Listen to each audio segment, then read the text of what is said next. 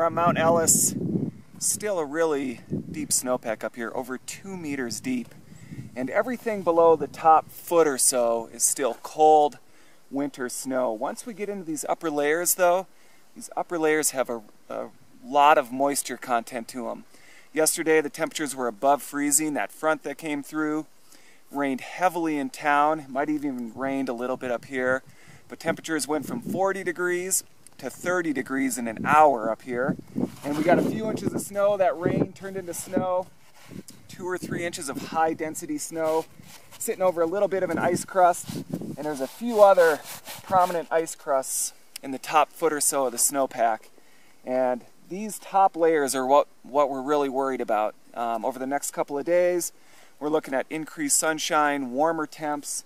It is not going to take much for these upper layers to loosen up and really get moving quickly, especially in steep terrain. So during these types of spring conditions, typically an early start and an early finish is a good way to mitigate a wet, loose avalanche problem.